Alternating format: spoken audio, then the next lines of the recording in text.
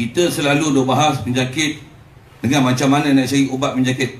Tapi kita tak tahu, tak mencari, tak berusaha untuk mencegah sebab-sebab penyakit. Is our problem. Sebab penyakit paling besar sekali apa? Zaharul fasadu fil barri wal bahri bima kasabat aydin nas. Orang duk sibuk campak polio apa dan sebagainya. Tapi hina Nabi tak ada orang Islam bangkit tuan-tuan. Very sedih sangat menjadikan tuan-tuan. Tunggu je lah celaka. Apa tak tahu polio apa tak polio. Japanese apa tentasi apa.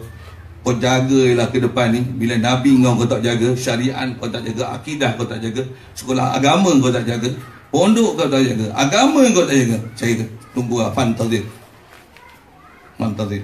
Tunggu je lah.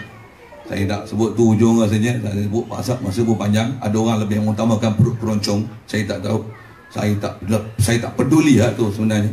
Kita lebih percaya agama. Agama adalah this is our life.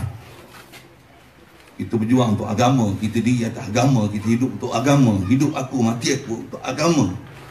Tak ada jalan maksud lain kita melainkan untuk mencari redha Allah Taala. Mesti dia atas hukum hakam agama dia tak insya Allah Taala apa Allah Taala ndak dan macam mana nak ikut perintah Nabi ni secara mutlak. Jadi I'm sorry I'm very rude words. Excuse me. Thank you for this time